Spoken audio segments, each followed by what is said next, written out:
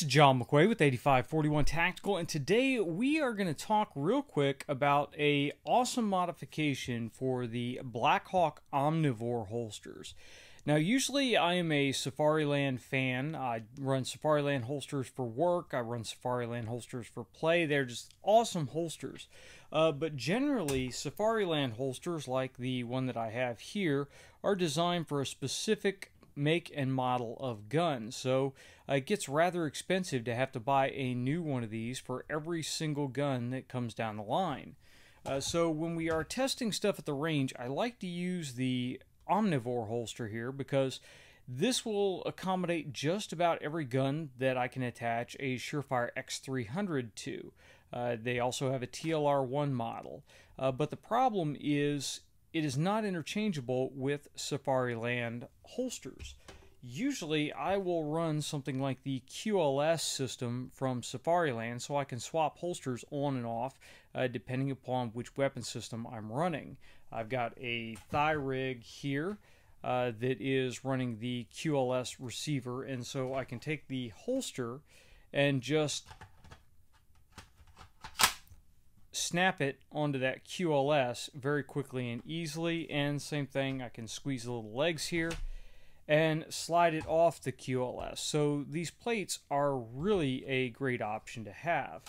Now you can buy replacement QLS systems uh, online. They're fairly cheap. We'll leave a link to Amazon down below where you can pick these guys up. Uh, but the big problem is the hole spacing on the back of the Omnivore is not the same as the hole spacing on the back of the Safariland holsters. So these do not line up. So you do have to modify the QLS a little bit, and you can see I did a really uh, hack job here uh, with a Dremel. You have to take out some of the fencing so that the screw holes will pass through and you need to drill a new hole here and notch out the holes here. Now I want to make one point very clear. I am not recommending this for duty. Uh, you don't want to modify uh, holsters or attachment points if you're using this for a law enforcement or an open carry type situation where you can be defending your life with the system or you may have to fight over your firearm. Uh, so this is not a good thing for retention stuff, but for running and gunning at the range and testing gear, uh, this works out just fine. Now the QLS comes with a ton of different screw options. I just took the three longest screws out of here. And then you're going to have to go to the hardware store and pick up some number 12 flat washers. And I grabbed some stainless steel ones just to try this out. I will probably try to get some black oxide washers at a later point so that they work a little bit better. So what you are going to need to do now is go get your QLS, make your modifications here, and when you lay the QLS over the holster, it is pretty easy to see where you need to make the modifications and where you need to drill the, drill the holes. I suggest uh, dremeling out and drilling the holes first and then going back with a bit on the Dremel and cut out the fencing. Now you can see, I'll give you a nice close-up of the plate here, you can see exactly what I did, so I'm not going to subject you uh, to me running a Dremel in order to actually hear this. Uh, after we do that, we just take our screw our washers, and I found that two washers is going to be about the approximate height that we're going to need, and I will show you why this is necessary in a minute. First of all, it's necessary uh, because the screws that come with the QLS plate are too long to just uh, attach the male QLS plate on. Uh, but secondly, there is a clearance issue that I will point out. Uh, now I'm going to line this guy up, drop it in there, and try to get things lined up. There we go. Uh, it can be kind of fiddly when you are lining the screws up with these washers. Uh, hopefully we will get it on the first try here without having to go back and goof around with it. Now, um, Safariland was nice enough to include a Allen key that is the appropriate size for these.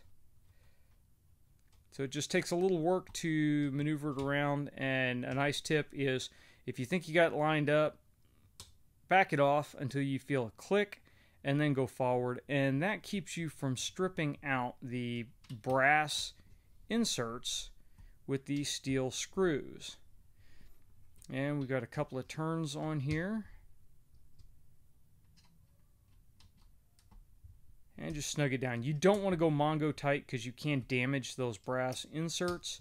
Uh, once you get everything lined up here, it is advisable to go back with some Loctite and Loctite each one of those screws. Now we have our QLS receiver plate here and you see we've got a good deal of space now uh, between the holster and the plate. And the reason for that is on the QLS receiver plate, uh, we have these ribs here. Now you could go through and you could Dremel the ribs off. I don't advise that because that is probably going to weaken this joint here. Uh, we want those ribs on there because that gives us a lot of strength for the holster. Uh, but now we have our plate on here and it snaps right in. Uh, so now we can take our Blackhawk holster and we can take our Safariland thigh rig here and it snaps right on.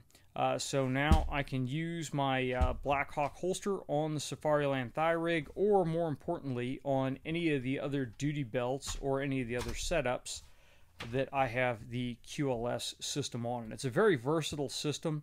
Uh, Blackhawk does have their own uh, quick release system. I have used it in the past. It locks on and then twists.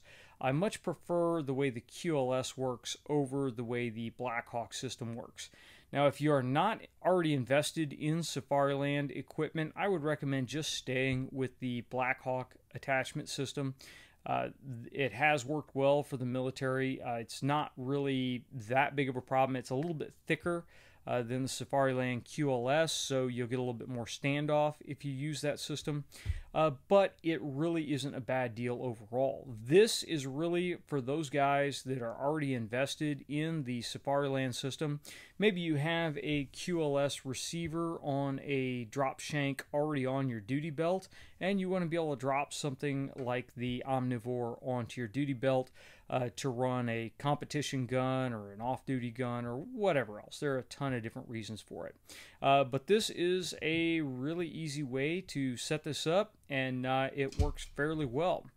So that's it for this video. If you guys have any questions or comments, go ahead and leave them in the comment section down below or send it to us on Facebook or Twitter. If you like the video, please make sure you like, share, and subscribe. And until next time, get out and shoot.